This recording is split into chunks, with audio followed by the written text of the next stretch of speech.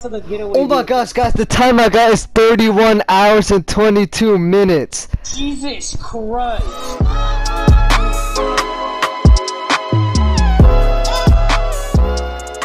What's up, guys? It's me, Happy Hood here, and today this video is gonna be about Hollow Knight. And I know what you guys are thinking. Oh, this game is trash. Oh, Joey, you like old games. Now, can I tell you something? Be quiet, okay?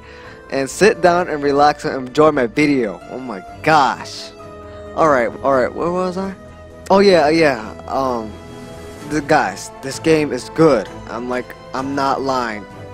Guys, just look, 9.4, look at that, look at that. That's amazing.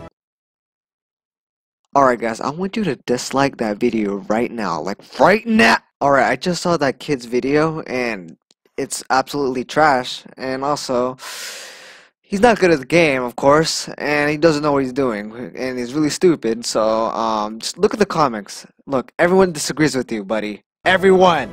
Alright, just in case you guys don't know what Hollow Knight is, I'm just gonna read this. Hollow Knight is a 2D Metroidvania action adventure game which takes place in a Hallownest, a fictional ancient kingdom. The player controls an insect-like, silent, and nameless knight while exploring the underground world. By striking enemies, the knight gains soul, which is stored in the soul vessel. Alright, since you guys already know what Hollow Knight is now, um, let's talk about the world and why is it so freaking good. Oh my gosh, guys, the map is huge! There are 15 areas where you can explore, and I know it's a lot, but who cares? It's, it's called a story mode game for a reason. Oh my gosh.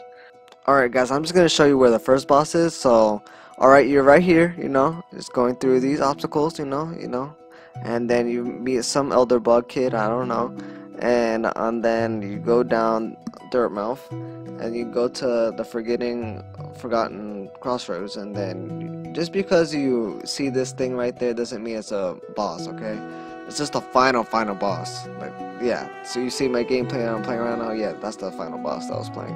And then uh, you just go down here down here and then boop all right there. And just go through those obstacles and then you fight the first boss. And yeah woo woo easy. Alright, I'm gonna tell you all the locations in Hollow Knight. Okay, Abyss, Ancient Basin, City of Tears, Crystal Peak, Deep Nest, Dirtmouth, Fog Canyon, Forgotten Crossroads, Fungal Wastes, Green Path, Hive, Howling Cliffs, Kingdom's Edge, Queen's Gardens, Resting Grounds, Royal Waterways. Alright, that's it for the maps because I don't want to spoil it and stuff like that, and I don't want you guys to get mad, okay? Next up, the music. The music in the game is so beautiful and it just fits in where the places you go, like Green Path.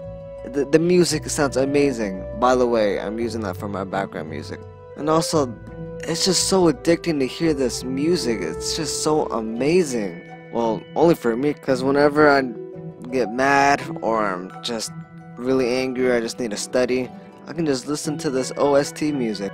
Alright, this game is kind of like an addiction because whenever I just die from like a boss or some random bug that sucks, I just like, I just like can't get off.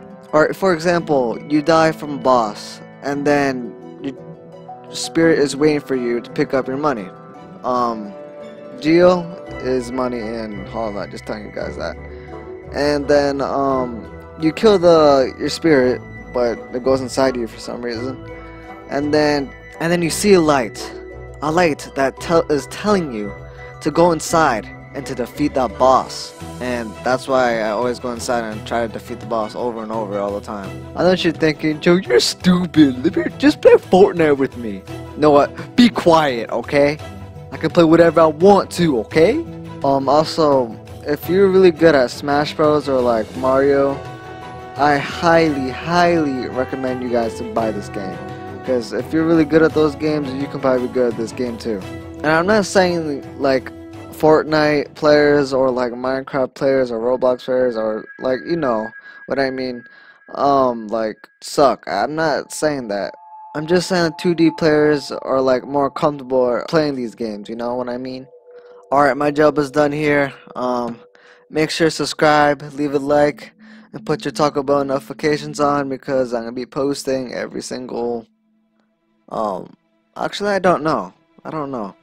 And also, um, all I'm just trying to say is to buy this game because it's so awesome, and you're gonna love it.